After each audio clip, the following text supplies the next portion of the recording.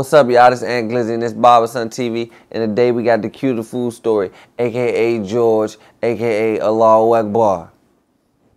I don't know why Ock be doing me like this. Ock did wrong though, y'all. This, did this to himself. Like, I wasn't even on Q line. Like, make niggas feel the pressure. 100 miles up to an extra more. I realized jumped out the bush with Max. Like, Max my real man. Like, Q supposed to been cool, but like, Q wow. But at the end of this story, it's gonna get crazy. Let's go. All right, so boom. I'm popping. Barbarason one cranking. I got the streets going on, man. I caught a wave now and I'm a rapper. My man Killer, my man Killer, OTD. OTD be with rich shooters. So my man Killer, this like my right hand. We always together. You see, if you see me outside, ten times out of ten I'm with Killer, free Killer. So I'm with Killer. Killer locked up though at this time. Killer called me from a jail phone I was like, man, you and Q need to work. Q just came home. He's like, man, you and Q need to work, bro. Y'all need to put something together. I'm about to hit Q and then I'm hit you and y'all get in the studio and y'all link up. So boom, he put it together. Me and Q link. Q like, all right, link meet me at the studio. All right, we go to the studio. We go to the studio out Chicho jump.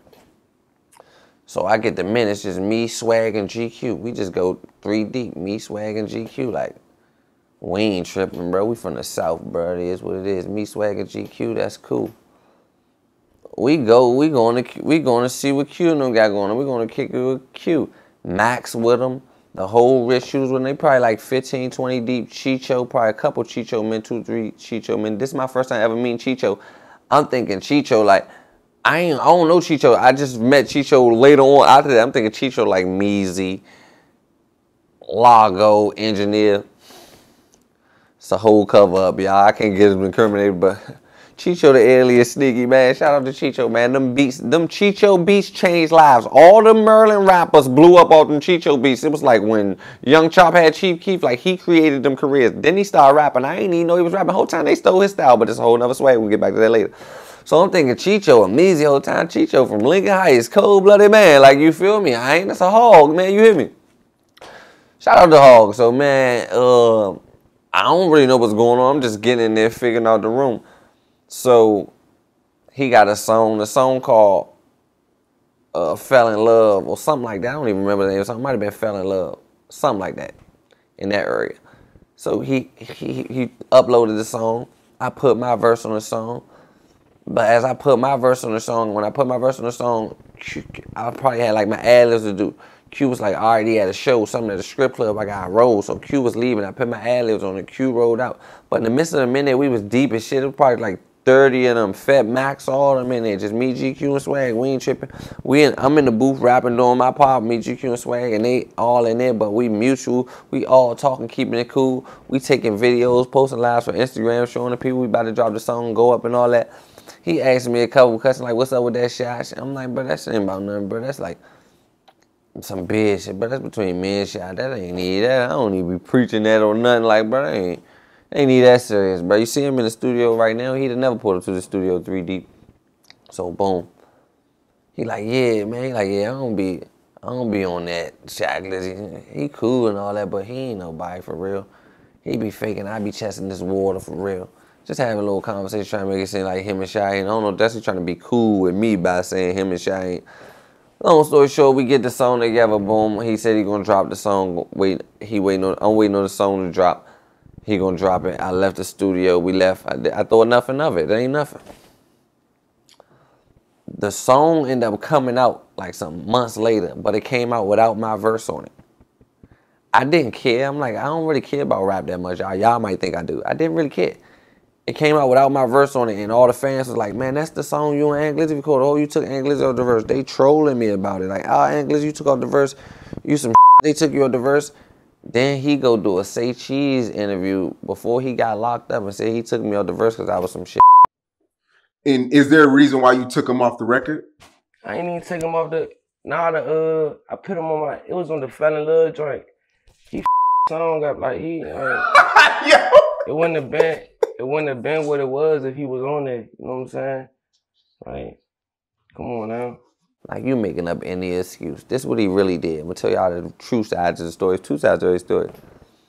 After he dropped that song without me on it on it before he did that, he linked up with Shy Glizzy. He was buzzing at this time. Now he just came from jail. He buzzing. Q got his buzz. Q hotter than me at the time. I just got the name from being like a OT in the game, like a veteran. I've been in this shit. I'm buzzing my name in this shit now. So now he go link up with Shy. Like some months later, after we was in the studio, go link up with Shy. It ain't about him linking up with Shy. He can do whatever he want to do with Shy. I don't knock no rappers for hanging around other rappers. This is your career. You be around whoever you want to be. It ain't nothing like that. I don't make you pick a side. They make you pick a side. In this video, Shy Glizzy trying to give him a chain. Now he trying to get Glizzy chain. Shy give him a Glizzy chain. Shy act like he about to sign Q the Fool. Q the Fool hanging with him like he about to get signed to Shy Glizzy. They acting like they about to sign each other. Shy give him a Glizzy chain. Shy put the Glizzy gang chain on him. Q wrapped his hands around Shy and looked in the camera while he gave him the chain and said, yeah, this my arc right here. Cause any of his beats, my beats, y'all already know what it is. Basically, he looked in the camera and said, Ant Glizzy, you already know what it is. I'm rocking with. You hear smoke, my smoke. I said, oh my God, it is up from there. And that's when history happened. I've been on full court press on George. Yeah, this ain't got nothing to do with Lago. Shout out to Lago and all that. But George, you can't mess with me. All that hundred round going, hundred round spoon.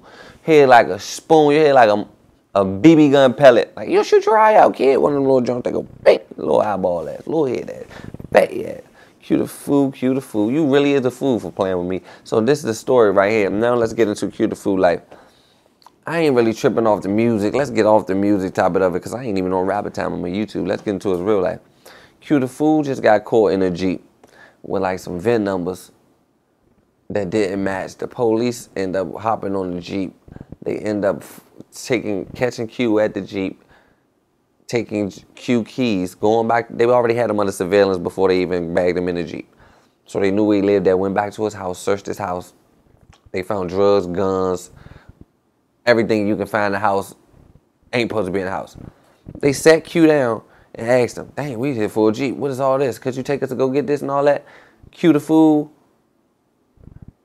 end up just mysteriously going to jail real quick, bonding out. And as he bond out, the guy that he in business with, dollars he in business with, that's his manager. Who he in business with, his manager, police hit his spot and find everything. Long story short, they locked him up Dollars got 11 years. Q the fool on his way home. Q the fool can turn himself in when he wanted to turn himself in. Like Q the fool bonded himself out, and the police told him, "Yeah, just turn yourself in on Friday. Go do a Say Cheese interview on Thursday and turn yourself in on Friday."